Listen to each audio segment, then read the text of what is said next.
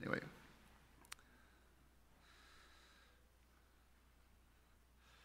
Brethren, if I were to ask you, or if anyone were to ask you to write down in one or two sentences on a piece of paper what it means to you to have the testimony of Jesus Christ, what would you write down? And again, totally unfair. I've had several weeks to get ready for this, but it's an interesting question because for me anyway, it was a subject, the testimony of Jesus, that quite frankly I was in the habit of reading over without much thought, never really giving it much regard. In fact, in many verses, it's sort of the main thing we talk about is this, and then it says, and the testimony of Jesus.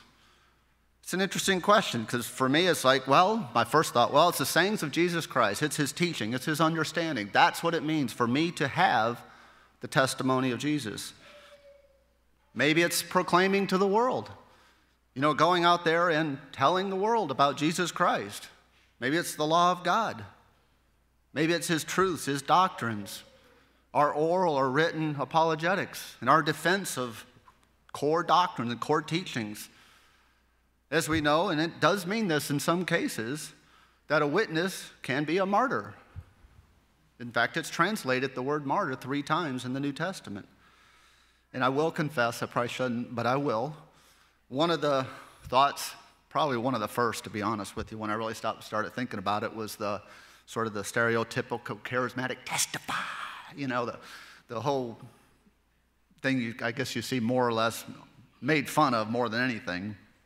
Well, the reality is all these things are indeed true. These are all elements of holding and possessing the testimony of Jesus.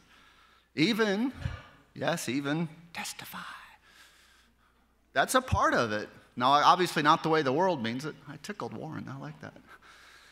Uh, obviously, not the way they portray it, but we do have a public proclamation and testimony of God in Christ Jesus in our life. It is something that is actually quite fundamental, and as part of my thinking on this, it was my way of moving upstream, essentially. I kept moving the needle, and I kept redefining my definition, which I will share with you in just a moment. But it was interesting as the study went on how it kept evolving and kept getting, quite frankly, more fundamental, more core, more of an essence than I thought it was going to, because I really thought it was sort of the Word of God and holding truths and doctrines and things like that. Just in the book of Revelation, and this is really the study that sparked this whole thought for me, we have it recorded several times. The first one is John and again, just, just sort of a cursory review. I'm not going to turn to all these for the sake of time, but you'll, you'll recognize these verses. John said he bore record of it. So, you know, that's interesting, and, I'll read it to you. First, or Revelation 1, verse 2 says, Who bore witness of the word of God and to the testimony of Jesus Christ, to all things that he saw. So, again, here John starting the book out saying, I was a witness, which really is a testimony it's the same word. The record bearer, the report deliverer, giver, going and telling all that he saw and all that he heard exactly and precisely. Again, as we know, he ends the book essentially saying, if anybody changes this, adds to it or takes away, I'm blotting his name out of the book of life. So John had a he bore record to those words. He had to give an accurate and a true account of what he saw. The word is a testimony. It's a that's what it means here. It's verbal or written down. Again, it's an interesting, but he bore testimony. He bore witness to it. John also was banished to Patmos over it. A little later, in verse 9, it says, I, John, both your brother and companion in tribulation in the kingdom and patience of Jesus Christ, was in the island of called Patmos for the word of God and for the testimony of Jesus Christ. So again, we have this idea of the Word of God and the testimony, which again sort of takes my initial thought, caused me to back away from it. Because this indicates it's, there's at least enough distinction between them that he's delineating the two different things. And it's important to understand, at the end of the day, they really are two different things. Now, while they often can appear as an overlap, I equate it when we use this term sort of commonly with, within our, our language and our, our, converse, our conversations. You know, we got to be able to walk and chew gum. Yeah, you can't really have one without the other. I get that. But again, there is something that's the Word, and there's something that is the testimony of Jesus Christ. Men and women were slain for it. Men and women were killed over this. And we know in the future, Revelation tells us it will happen again. Again, I'll just read it to you. Revelation 6, verse 9 says, When he opened the fifth seal, I saw under the altar the souls of those who had been slain for the word of God and for the testimony which they held. Which is an interesting way to word it. It's something they possessed, it's something they held on to. That's an interesting word when you actually break it down. It means to own, to possess. So the testimony of Jesus is something you own and you possess. It's to hold oneself to a thing. And my favorite definition, because I think it strikes at the core of what it really means to a Christian, basically means to glue. The word held, the word hold. The testimony can be held, it can be adhered to or clung, clung to. It is closely joined to a person or thing. This is the testimony which they held, which we hold. And again, it's another big clue of what the testimony of Jesus Christ means. A little later in Revelation, the two witnesses are killed over it, which again is an astonishing thing to me. Revelation 11, verse 7 says, When they finished their testimony, which again, this is the words God and Christ gave them, but they finished their testimony. The beast ascended out of the bottomless pit and will make war against them, overcome them, and kill them. It's another important piece of information for us to understand. It's not so much what their testimony is, it is of Jesus Christ. It is the words that Jesus Christ will have given them. The important part here is, and I think it's, an, it's a lesson we ought to keep in the back of our mind, is we hold this testimony. We hold on to it. It is glued to us until our last breath. It is glued to us whether this way or natural causes. We, it is bound, glued to us, glued inside of us till our last breath, just as it was and will be, I should say, for the two witnesses. There have been those who have been persecuted for it. Revelation 12, verse 17, that this is sort of contextually, this is part where the woman flees into the wilderness. Satan sends a flood out after her. God protects him by opening up the earth and swallowing up the flood. It says this And the dragon was enraged with the woman, and he went to make war with the rest of her offspring, who keep the commandments of God and have the testimony of Jesus Christ. Those who are alive and remain, so to speak.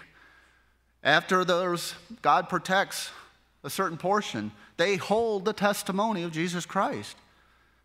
Again, highlighting it is two separate things it is the word and the testimony.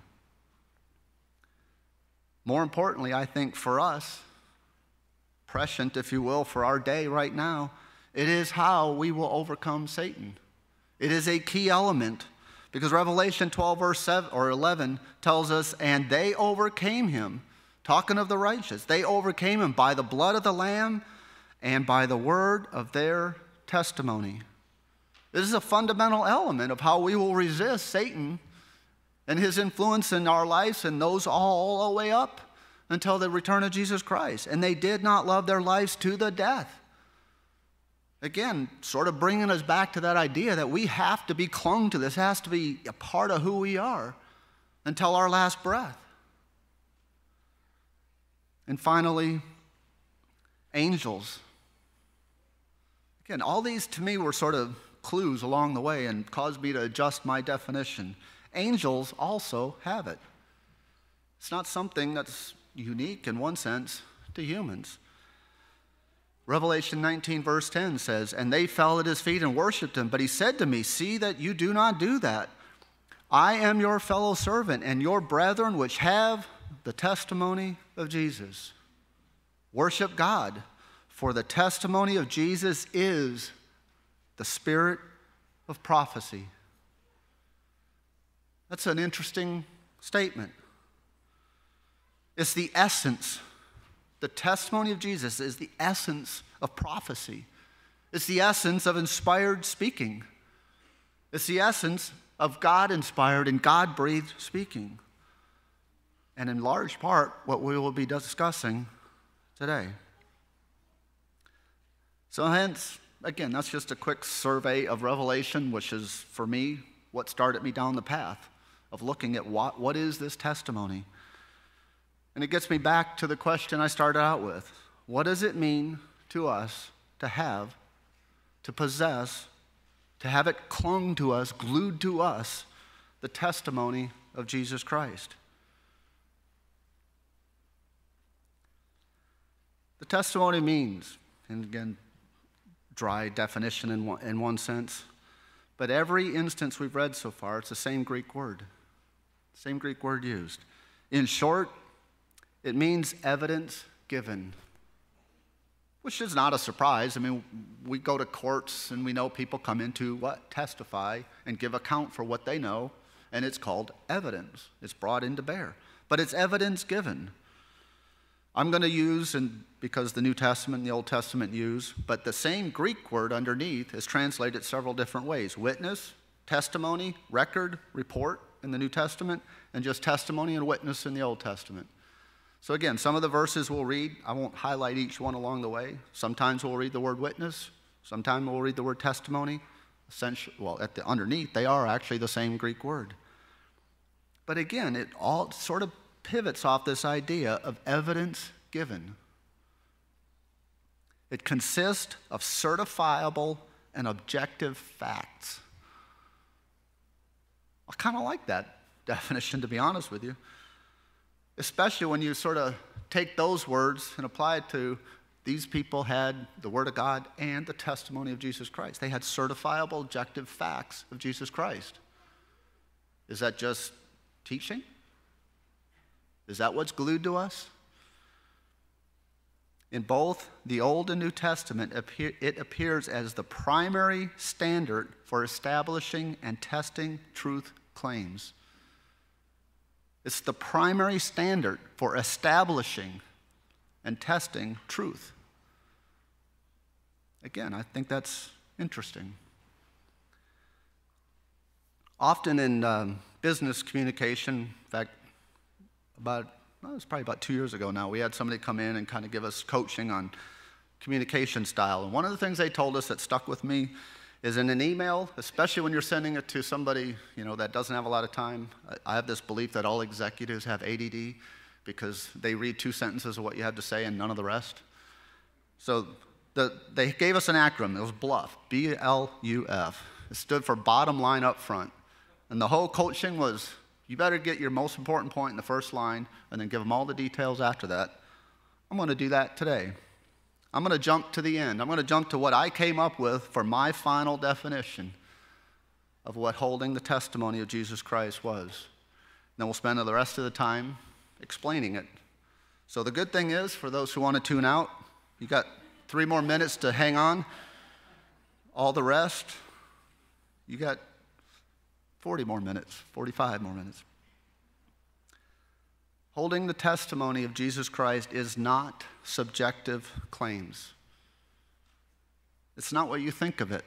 It's not your opinion. It's not beliefs. And it is not self declared. And here's my definition again. Here's my bluff. Here's my bottom line up front. Holding the testimony of Jesus Christ is having certifiable, objective, evidence that God is the sole, supreme, and central authority in your life. I want to read that again because it took me two weeks to come up with that sentence. So somebody's got to write this down. I'm counting on you, Bonnie. Holding the testimony of Jesus Christ is having certifiable, objective evidence that God is the sole, supreme, and central authority in your life. We say it probably a thousand different ways. I think one of the most common ways is I have to put the words in front of it of what the testimony would mean. certifiable, objective evidence that Christ dwells in you. Again, there are dozens, and this is one of those topics that, that sort of blew up, and then most of it fell on the cutting room floor. There are dozens and dozens and dozens of things that stem off of this. But again, on the, the idea of go as far upstream, get to the core essence of what it means. Because you can hold the truth, but if Christ isn't the central authority in your life, what's the point of it? And so that's why, to me, it's like all the other things. You can be a martyr, you can die for this. But if he's not the central authority, the supreme central authority, then it's not clung to you. It's not a part, it's not glued inside of you so much that you cannot rip it out without destroying your own body and mind. Everything else hangs off of this. Everything else that I could find related to having the testimony. Yes, speaking the truth. Yes, again, martyring and all these other things. But it all came back to this because none of that other stuff matters. I want to start with where we often do, the perfect example of what it means to have the testimony. I want to start with the example of Jesus Christ himself. The example he gave us, he set for us, and he taught his disciples and thereby us of what it means to hold and have a testimony. It illustrates some of the most fundamental truths to the, eh, that is essential to understanding. For us, the question that on the table today Again, the question being, what does it mean to have the whole or the hold the testimony of Jesus Christ? I want to turn, if you would, to John chapter 5. John chapter 5, we're going to start in verse 17.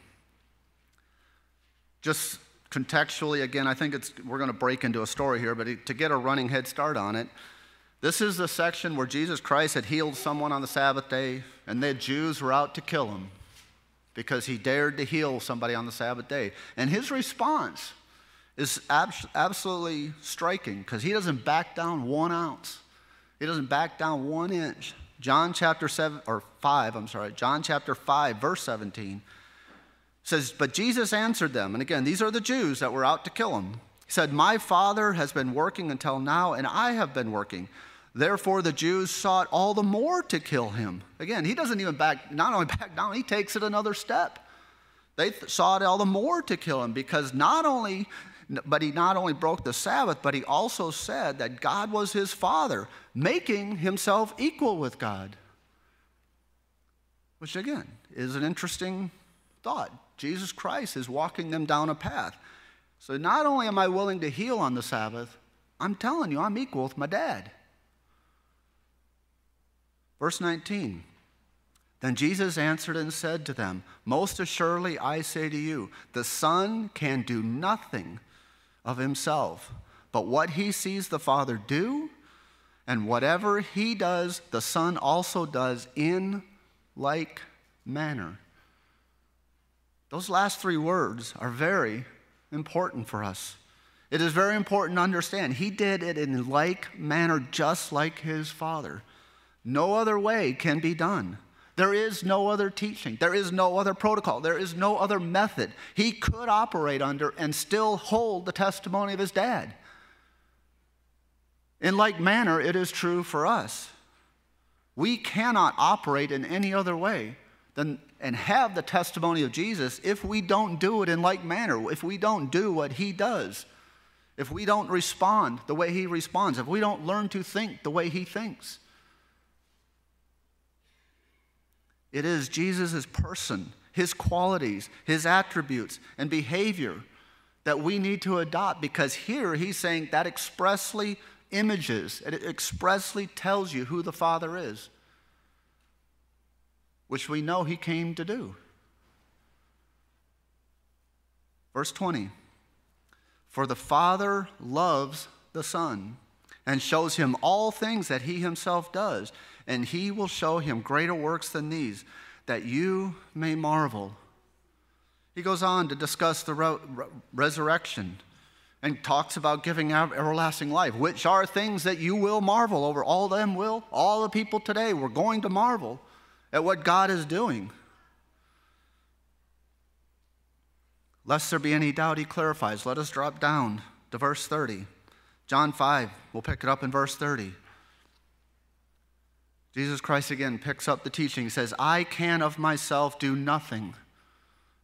As I hear, I judge. And my judgment is righteous because I do not seek my own will, but the will of my Father who sent me. If, if I bear witness of myself, my witness is not true. Consider that what that just said. Here is the Son of God in the flesh saying, If I'm bearing witness of myself, it is not true. Again, a, an extremely important truth for us that we can never forget. It is always referred to as the testimony of Jesus Christ. It is not the testimony of you. Just as Jesus Christ came to show the testimony of the Father, the testimony can never be our own. It has to be the certifiable, objective proof or evidence of Jesus Christ's supremacy, just as Jesus Christ is telling them here.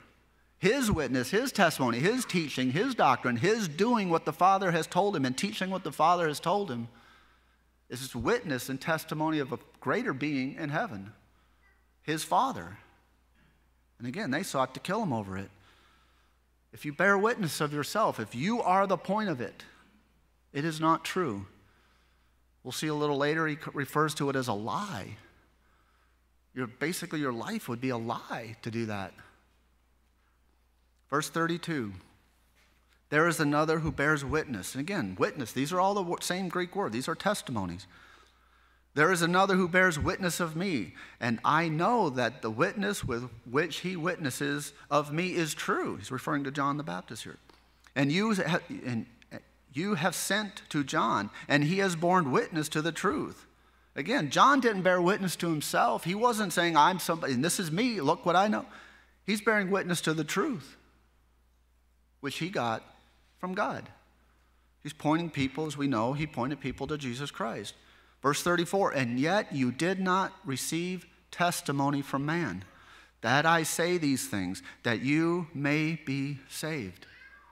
And here's the point of it it is a point of salvation, that you may be saved. One of the great purposes of having that clung to you inside of you. Verse 35 He, John, is who he's referring to here was the burning and shining lamp, and you were willing for a time to rejoice in his light. Yeah, you liked it for a while. But I have a greater witness than John's. For the works which the Father has given me to finish, the very works that I do bear witness of me. They're bearing witness of who Jesus is. But notice how he ends it that the Father has sent me. That's what he bore witness of. He pointed him back to his father. And that's what he was here to do. You know what, in essence, he's saying? He's saying his words and actions gave testimony, certifiable, objective proof that the Father is supreme and that the Father had sent him. He's saying his works, his life, everything he did his earthly work. Again, until he uttered the words, It is finished. Until he uttered that and drew his last breath, and even in the very act, he's witnessing in his actions and what happens there and thereafter testify of who God is and who the Father is. Again, it showed certifiable proof of who he was and it showed certifiable proof of who sent him. In like manner, brethren, do we bear witness? Do we bear witness that Jesus Christ lives in us? Again, we're not going to, I don't think any of us will be crucified. Kind of hope not. But do our lives bear that witness? See, a faithful life lived well will. A faithful life others will see. They will see and they will understand. Not maybe now, I get that. History will not soon remember anybody in this room. It just won't. But God will. The way I look at it is history burns us up, we're a little speck of dust that gets thrown in a dustbin, soon to be forgotten as fast as it you know, breaks the edge of the rim of the dustbin. But God will remember. It's an astonishing thing. Because we do His work, because we serve Him, because we honor Him, we bear the witness, we bear the testimony of Jesus Christ. They are His works at the end of the day. You and I would never choose to do this. You and I would never choose to live this life. The apostles would never have chosen to die the way they did, to dedicate their life, to walk away from all they had if it weren't true. And they are a witness to us, they are a testimony for us. Verse 37 And the Father himself who sent me has testified of me. You have neither heard his voice at any time nor seen his form. Yeah, that's right. That's right. He's asking us to believe in something you haven't seen or heard. So, yes, it takes faith. Nobody's discounting that. It absolutely takes faith. But if you believe, and yes, it's faith that's going to allow that, but if you believe Jesus Christ is the Son of God, you have no other option but to walk down that path. And because of Him, His life, His actions, His conduct, if it is in us, if we adopt that and we become like Him, we become a certifiable, objective proof that He is who He says He is. And He is then our supreme Lord and our supreme Master, just as Jesus Christ explained why He did what He did and who he obeyed and who lived in him and why he taught what he taught and why he said what he said and why he did what he did. Nobody would do that unless there is a supreme being up there. And for those who have faith, those who believe Jesus Christ was the Son of God, it is certifiable proof. Because you can't walk by that. You can't just ignore what Jesus Christ did. Again, brethren, we are a living, in essence, a living testimony to who Jesus Christ is and his power and his work in this earth, on the earth right now, in the race of humans. You are a testimony to that. And he's asking us to hold it till the very end. Again, you may not have wanted this. This may not have been your choice, but to this you were called. This is part of your calling. This is the essence of your calling. That's why you're here now in this life to be a testimony, to be a witness to Him. Turn, if you would, to 1 John. 1 John will start in, or chapter 5 will start in verse 9.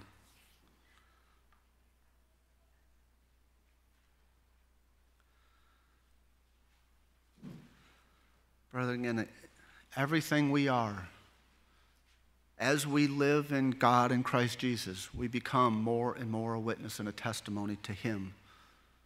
And it's something we hold. 1 John 5, we'll start in verse 9. If we receive the witness of men, the witness of God is greater. For this is the witness of God, which He has testified of His Son.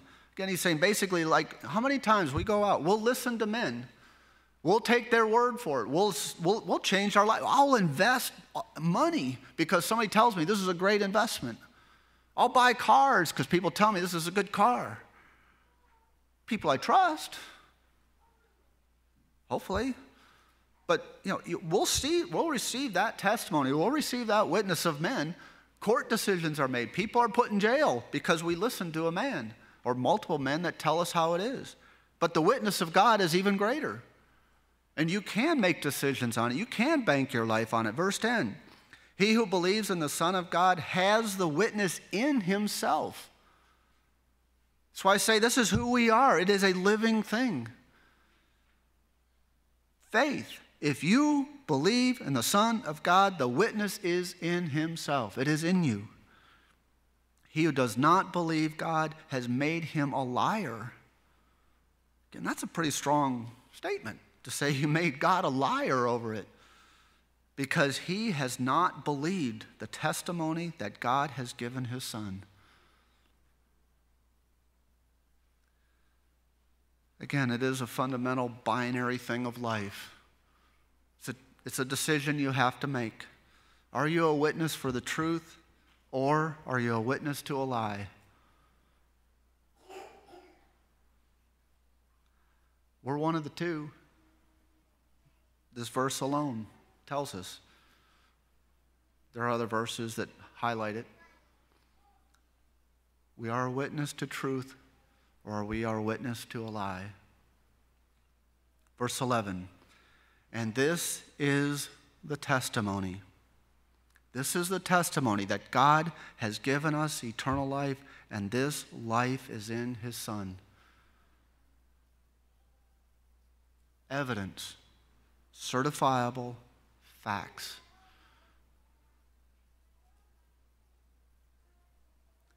Gets back to the definition we started with earlier. Is Jesus Christ in you? Is he glued to you? Is he bonded to you so that it cannot be removed? Is he the soul and the supreme authority in your life? Even over your own will, even over your own self, even over my own desires. If he says conduct and treat other people this way, and I don't want to because they irritate at me, who's ruler? Who's the supreme authority in my life? See, I have to subject my own self to this. He has to be the supreme, not the supreme except for me. Brethren, it is who you are a scripture we are all familiar with. You are a chosen generation, a royal priesthood, a holy nation, his own special people. Why? What does he say right there of why that is the case? That you may proclaim, that you may, this is not, this is not witness, this is not testify, but it means the same thing, that you may proclaim the praises of him who called you out of darkness into his marvelous light. The King James says that it may show forth out of you. It means to proclaim, to publish, to broadcast. This is why you are a royal priesthood, a holy nation, that you can proclaim it and push it out. That you can proclaim the praises of Him, not your own, not your own super genius, which we all are, we all know it. It's Him. He's the one that called you out of darkness into his marvelous light. Praise here is an interesting word. It means properly, good quality, intelligence of any kind. It means here the excellence of God, His goodness, His wondrous deeds, and those things which are, it is proper to praise Him. Comes out of Barnes' Notes. Barnes' Notes has, actually has a really good write up on that verse if you want to read it. But it is all about Him. The testimony we hold of Jesus Christ is not about us, but it has to be manifested. If you will, it has to be witnessed in how we conduct ourselves, how we speak, how resolute we are. And I would ask ourselves, it gets back to the sermonette how resolute are we?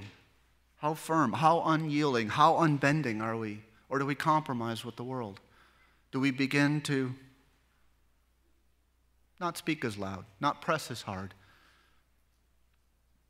It's manifested in your peace.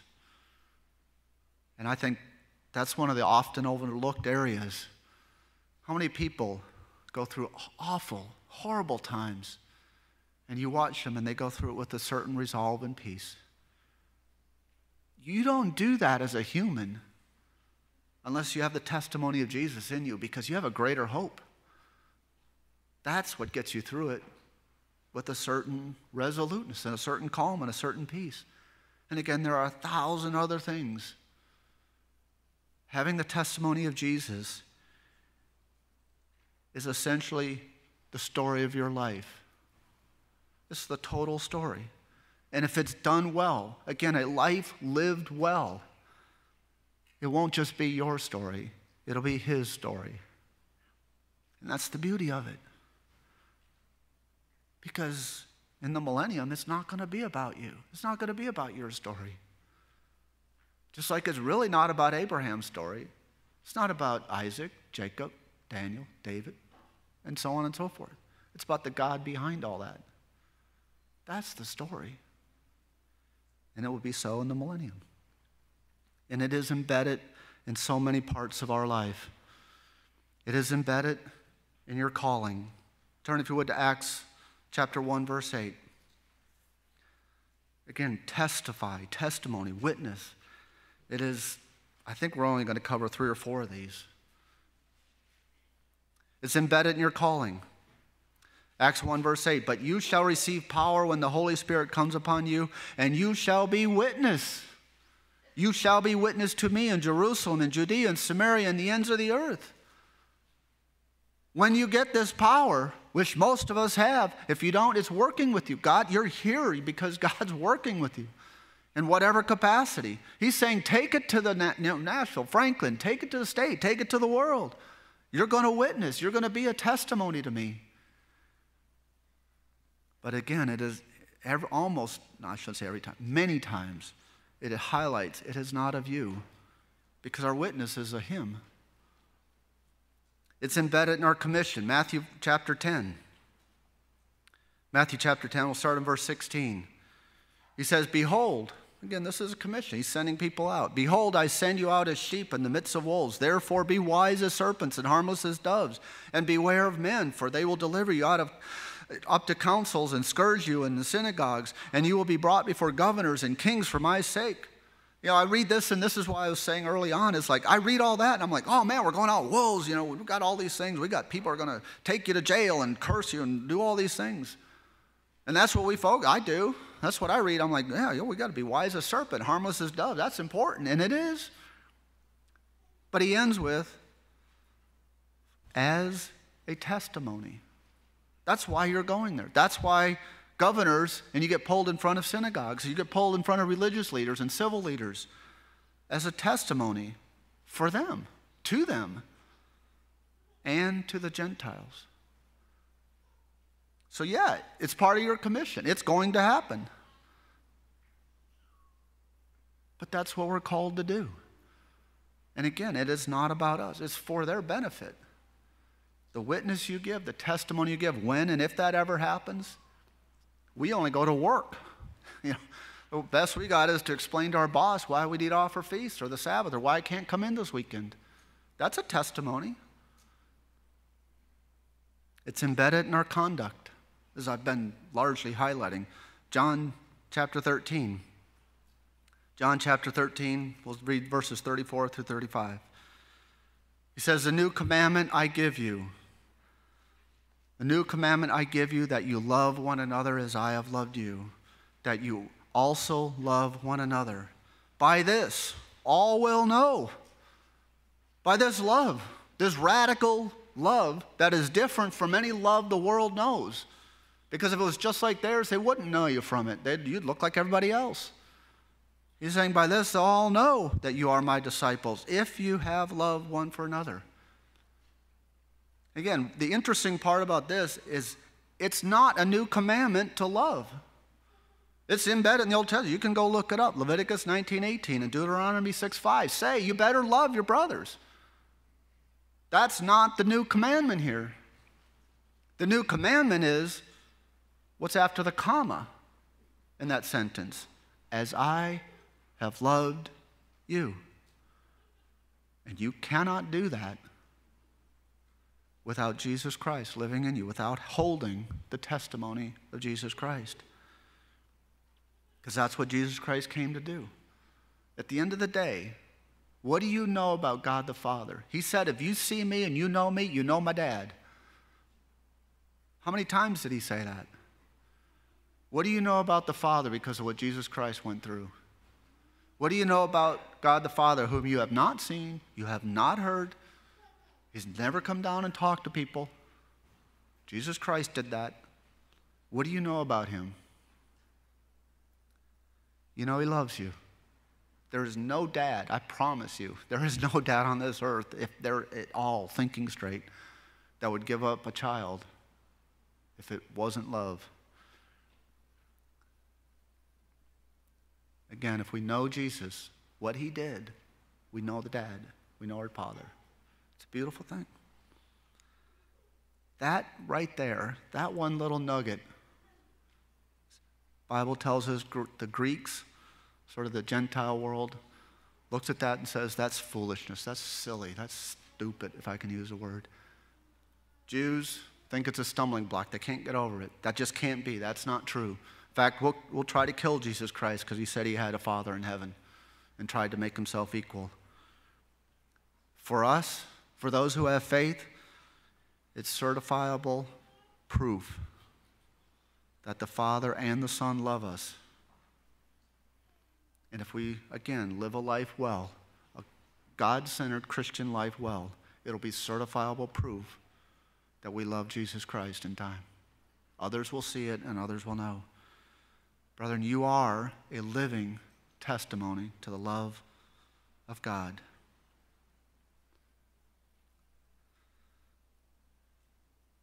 One thing I must, I almost took this one out, but I left it in. It has to be according to God's will. Because again, we can, eh, this is one of those areas, you know, people can get certain things in their head and get well off track. But remember what Jesus Christ said. He said, I do as my Father tells me, I speak what He speaks to me. I love because the Father loves me. Hebrews chapter 2, verse 1. Again, it must be according to God's will.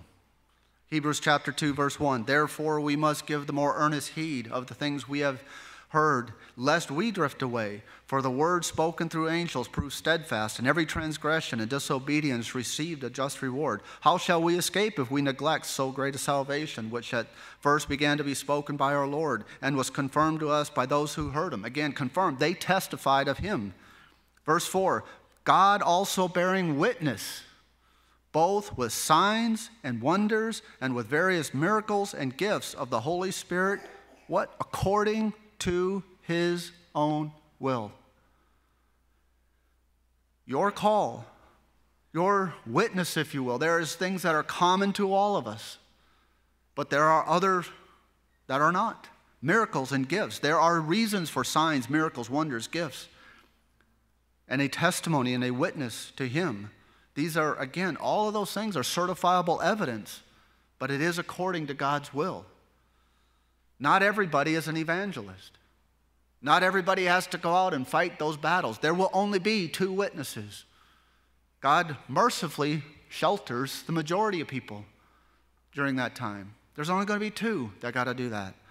Outwardly, these signs, miracles, wonders, they are clear evidence. They are evidence of God's supreme authority over all things and evidence to all within the church. It's the message of salvation. It's true. It proves it's true because we have these things and we can look at and say, there is no other way. These, again, this confirms it. These are witnesses to God. Somebody's healed, it's not for their glory. Just like, again, I'm going to. I'm going to rant here a bit, I guess. It's not to God, it's not condemning somebody because they weren't healed.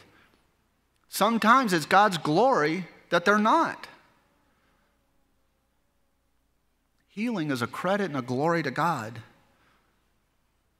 Praise Him when it happens. And don't condemn somebody who isn't healed.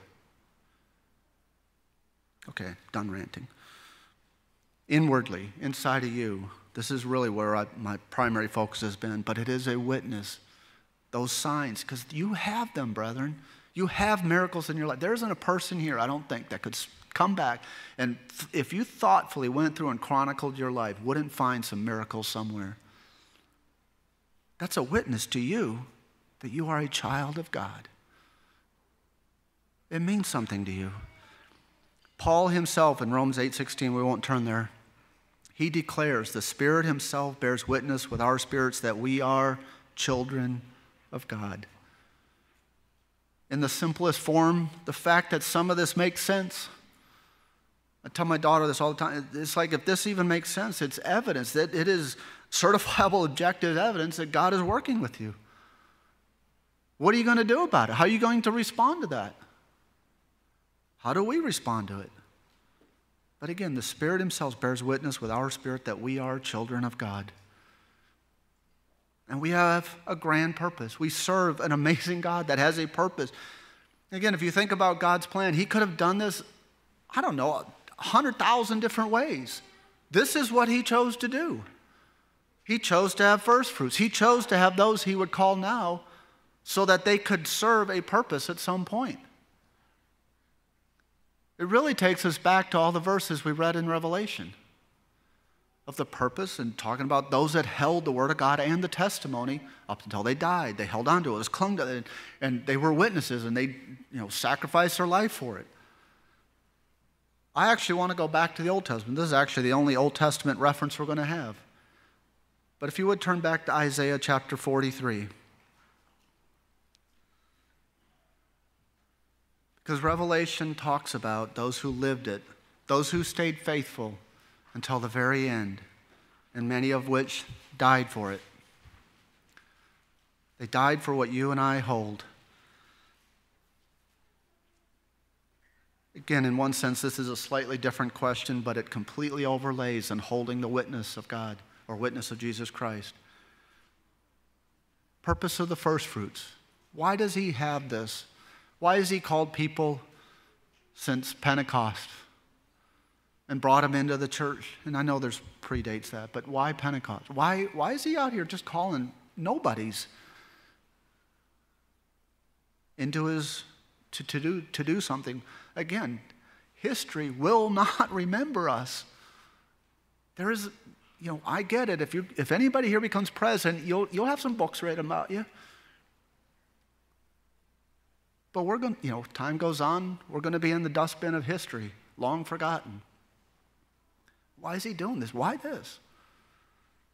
I think this is, this is a striking small section here for us to read. Isaiah chapter 43, verse 1. But now, thus says the Lord who created you, O Jacob, and who formed you, O Israel Fear not, for I have redeemed you. I have called you by name. You are mine. I kind of like that. I like the idea of reading. I've been redeemed.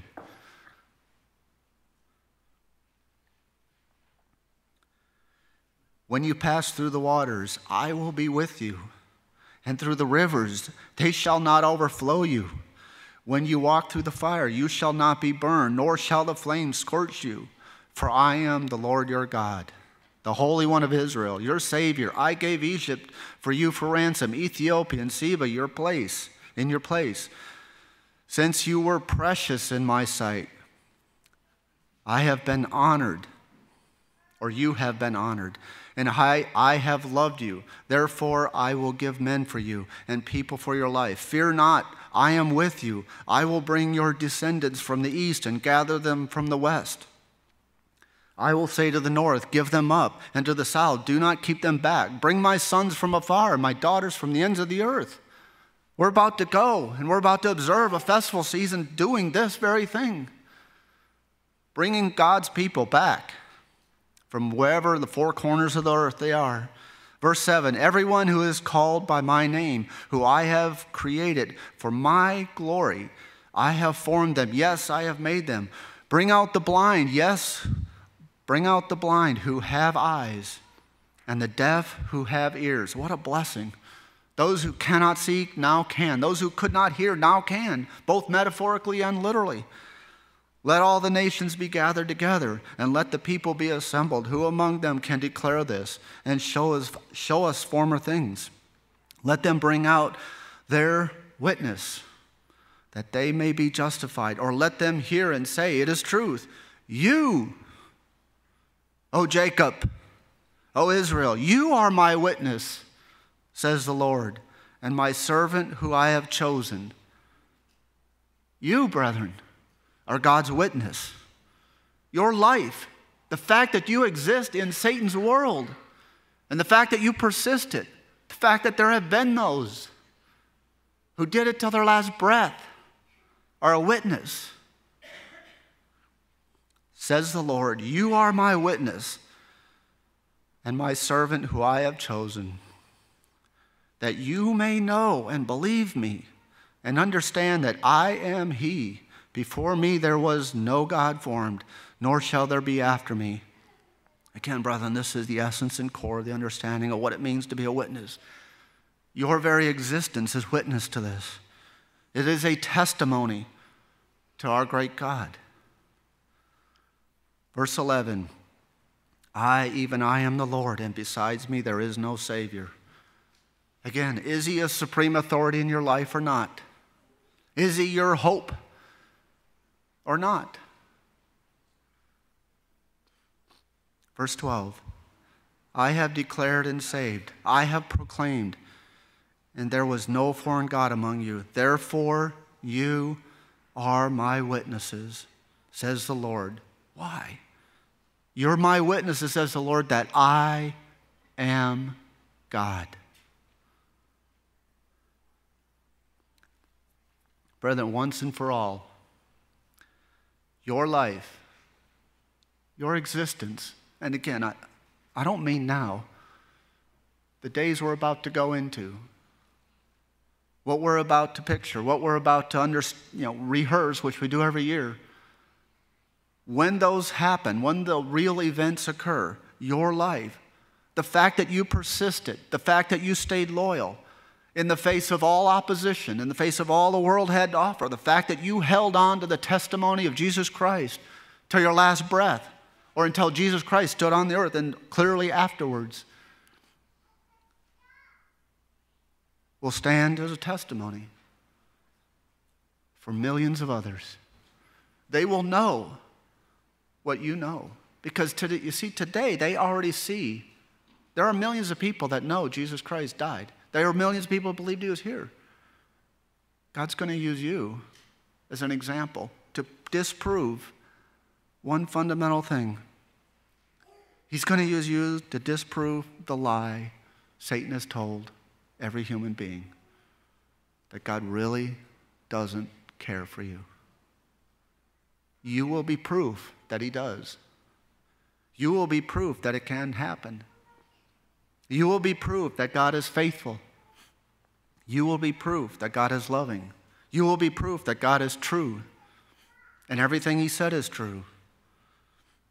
You will be proof that there is no other, as we just read, there is no other God.